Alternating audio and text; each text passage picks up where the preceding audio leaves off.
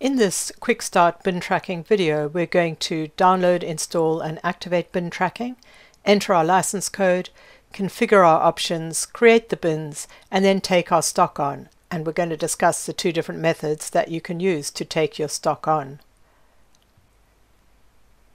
To download bin tracking, go to orchid.systems, log in, and then in the product download area, Select the version you're after, in our case 2022, and then download the module.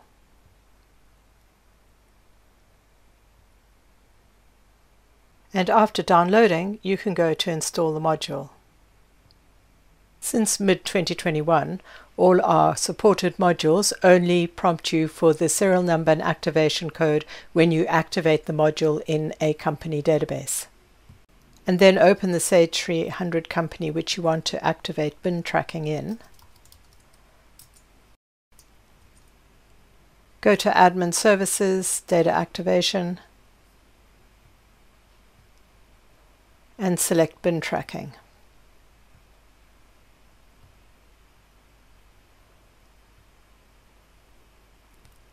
If you are activating in a company for the first time on this site, you will now need to go and enter your serial number and activation code.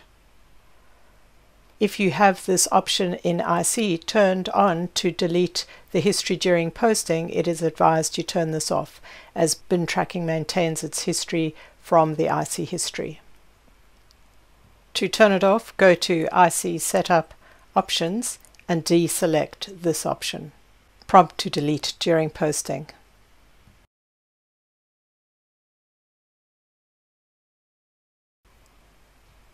And then in bin tracking, go and enter your license.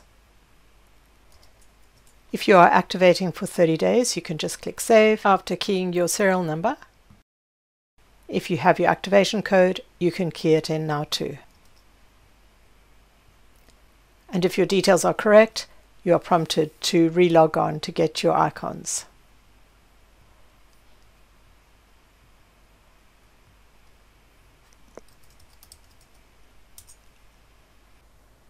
For the bin tracking setup, you need to configure your options, assign optional fields that you want to use at the bins, bin transfer header or bin transfer detail level, create your bins, and then in admin services, assign your security groups for bin tracking.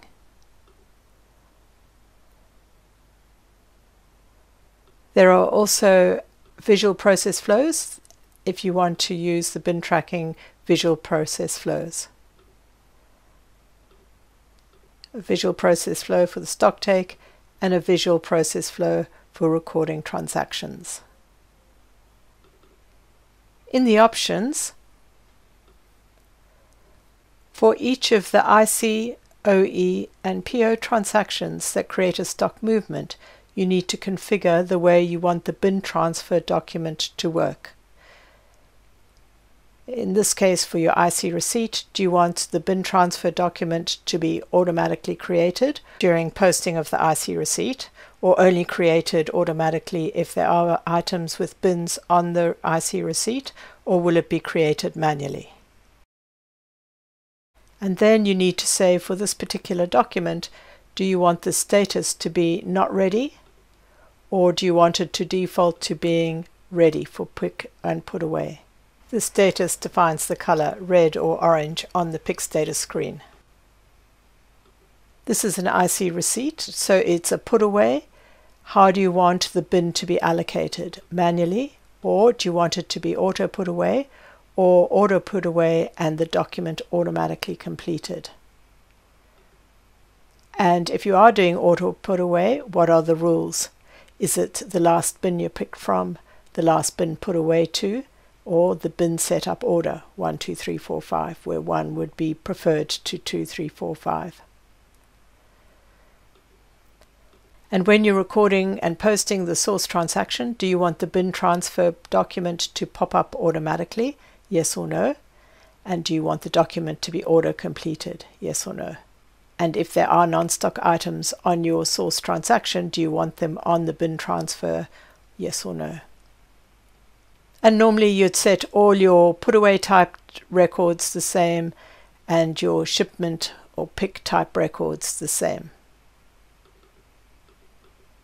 And just as we could set the rules for the put away, we can set the rules for the pick type documents, auto pick or manual or auto pick and complete. And if you are auto picking, what is the basis for the auto picking based on your most recent put away or your least recent put away or your bin setup pick order one, two, three, four, where one would be preferred to two, three, or four. Do you want the bin transfer document to pop up when you are posting the document, the source document? And do you want it to auto complete where if all the bins are filled in? And normally you would have the same rules for all your pick documents. So the IC shipment, OE shipment, assembly for the raw materials, they're picked. And the same rules for your putaways, IC receipts, PO receipts, and your assemblies for to put away the finished goods. On the processing tab, you define your document length, whether or not you allow negative quantities, whether or not you allow the bin transfer document to completed when the quantities don't match the source document. You can elect to have a filter or a mask for those items which you do or don't want to bin track. So you may want to ignore all promotional materials. And then you go ahead and create your bins. Per IC location, you define whether or not you're going to bin track that location. So we are going to bin track location 1, and then you enter your bin codes. The bin number can be up to 10 characters long, have a description. You can define whether it's active or not, a temporary bin or not, whether you allow all items or only the specified items below in that bin.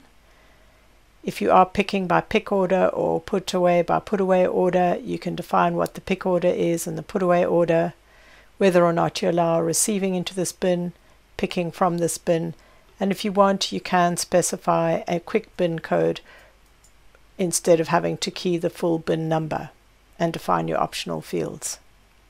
You can export this example bin code for location 1 as an example and then use Excel to create the bins all the bins required for all the locations, and then import that resulting spreadsheet.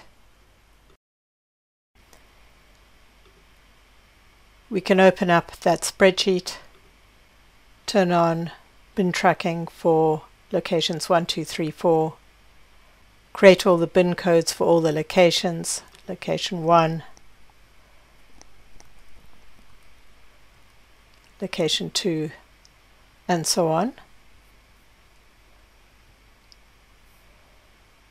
and then import the bin codes.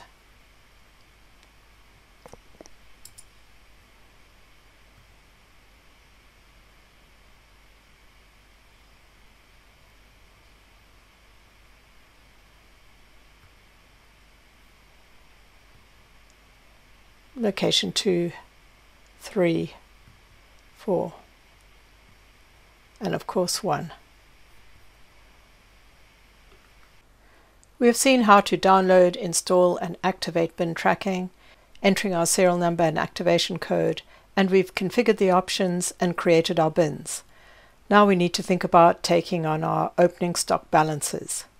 And this will be different depending on whether IC has been live for some time and you're now taking on bin tracking, or if you're taking on IC and bin tracking at the same time. First we'll look at taking on bin tracking at the same time as IC. Here you would enter the IC transaction for the take on balances. This might be an IC receipt, a PO receipt, or an IC adjustment. And when this document is posted in ICPO, bin tracking will automatically create the bin transfer document to support that transaction. It'll have all the items on, plus all the quantities on, and then you can go ahead and enter the bins. Here we're going to create an IC receipt to record our initial stock take on.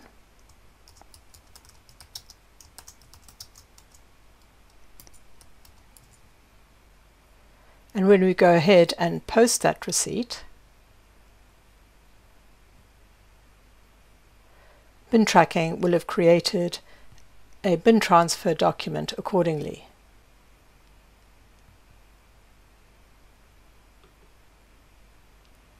And when we open this up, and we can go ahead and fill in the appropriate bin. The reason the bins weren't auto allocated is because I had set to auto allocate our put away bin based on the last uh, bin the item was picked from and we haven't yet picked any items. So the initial put away needs to be manual. And if this quantity is to be put in multiple bins we can specify multiple bins here. So this might be a quantity of 50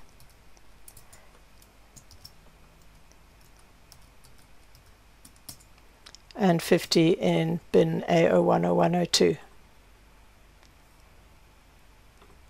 When bin tracking recognizes the quantity is fully put away, it suggests you want to complete it, which I can go ahead and say yes, and in which case that document will drop off this uh, status screen next time it is refreshed.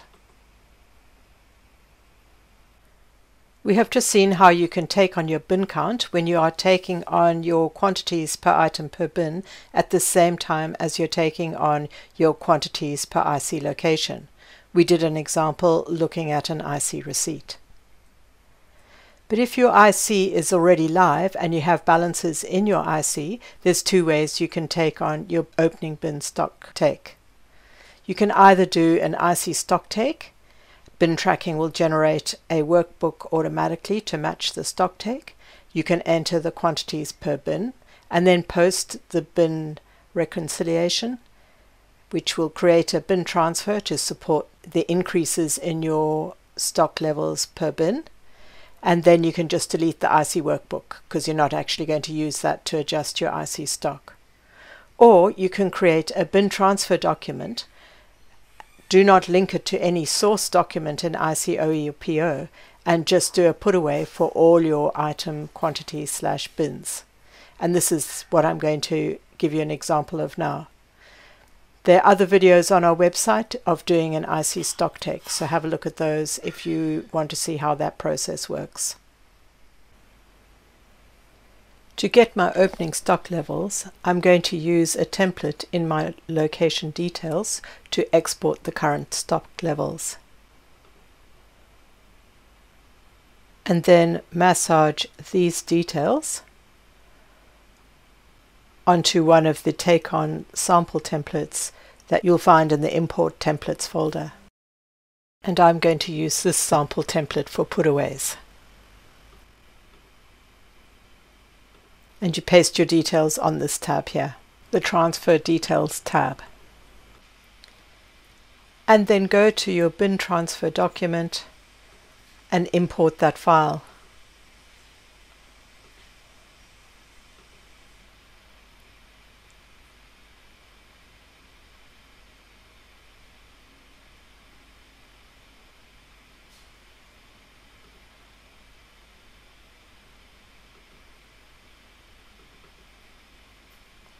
So this is your take on stock, which is not associated with any source document.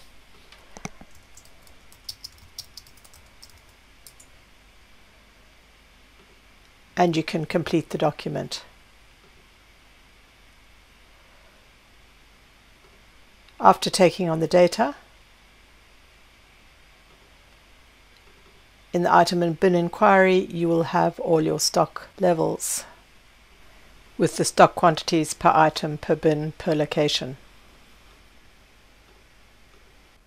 And we've now seen how to take on our stock balances both at the same time as a source transaction from IC and taking on after IC has been live for some time by importing a bin transfer document that is not associated with any source transaction. Thanks for watching this quick start video on bin tracking. Please go to our website to see more information, for example videos on using bin tracking, configuring bin tracking, and other bin tracking tips and tricks, as well as the sample cubes for bin tracking using Info Explorer.